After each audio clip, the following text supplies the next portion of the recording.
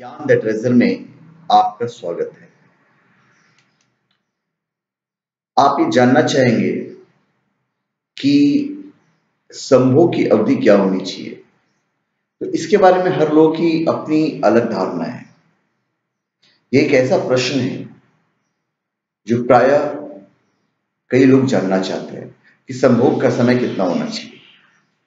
इस संबंध में अलग अलग चिकित्सकों की अलग अलग राय है। कुछ चिकित्सक यह मानते हैं कि संभोग की अवधि लिंग प्रवेश के बाद तीन से चार मिनट होनी चाहिए।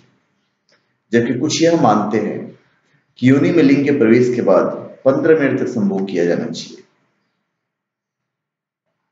हमारी राय यह है कि संभोग की आदर्श अवधि वह होनी चाहिए जिसमें स्त्री व पुरुष दोनों उत्तेजना की चरम सीमा पर पहुँच जाए और दोनों ही संभोग का शारीरिक व मानसिक आनंद प्राप्त कर सके। पूरे वर्ल्ड में जो संभोग की जो अवधि है, वो तीन से पाँच मिनट है। लिंग प्रवेश के बाद। वैसे, संभोग तीन से तीस मिनट तक चल सकता है। पाँच मिनट की जो स्खलन है, वो सबसे एक आम अवधि है। इतना होना चाहिए।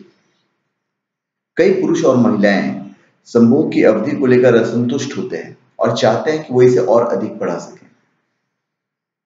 अगर पुरुष वैसे सामान्य है और योनि में सामान्य चिकनाहट है तो उससे संभोग की अवधि बढ़ाई जा सकती है। संभवतः तीन मिनट से कम की अवधि महिला और पुरुष दोनों के लिए ही असंतोष का कारण हो सकती है।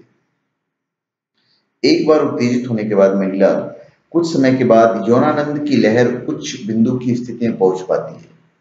और तीन मिनट से कम में तो शायद नहीं पहुँच पाएगी। तो एक एवरेज जो अवधि है वो तीन से पाँच मिनट का है। बाकी सब पूरा माइंड गेम है। कि आप इसे कितने देर तक खींच सकते हैं?